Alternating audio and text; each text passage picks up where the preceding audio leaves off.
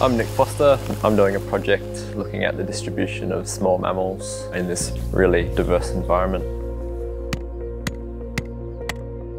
We've got a wide range of invasive mammals out here. We've got cats, ferrets, stoats, weasels, hedgehogs, possums, rats, mice, uh, almost the whole suite unfortunately.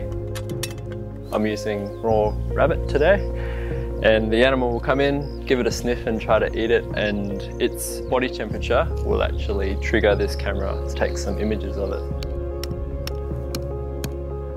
The camera is for recording the presence or absence of different pest species.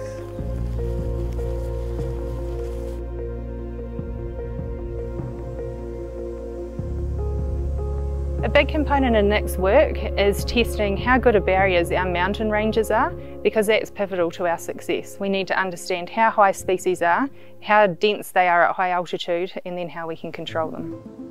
Working in the mountains, there are some sort of hootin' and hollerin' moments, but for the most part, it, yeah, it's quite hard work.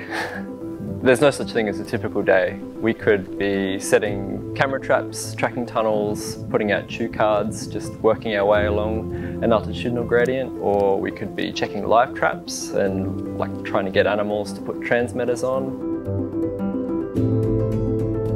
European hares present problems for quite sensitive vegetation communities and they support populations of predators just as a, a prey resource particularly in the alpine zones, really quite novel information. First we have to get the hare. So we've had the help of some great local people, Johnny Wheeler, Mark Pridham, Laurie Prouting, uh, and they have worked out a way to um, projectile net hares um, out of helicopters, which is quite exciting.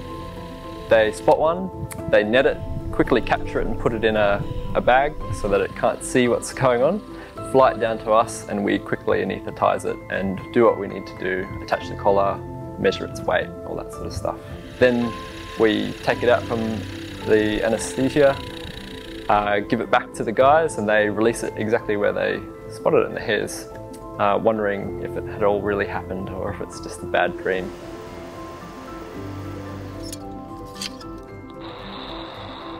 I'm just checking this little gully for uh, some hares. So the collars are scheduled to come on um, once every couple of weeks and hopefully that lines up with a weather window for me. I walk up um, often with some overnight gear, um, track the hares down and remotely get their data back so I can incrementally see what they've been doing and where they've been going.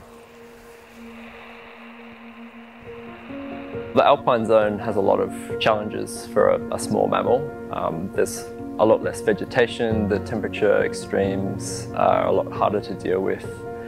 And so far we've found that for all of these species that there are altitudinal limits. I was particularly surprised to find hedgehogs above 1900 metres. It's bizarre to see a little spiky hedgehog up in these golden tussock plains. They just don't belong there.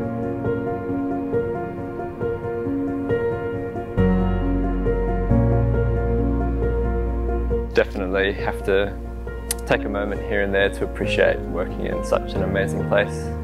I couldn't have dreamed up a better project. I'm very, very fortunate to be working in this environment, doing this sort of work.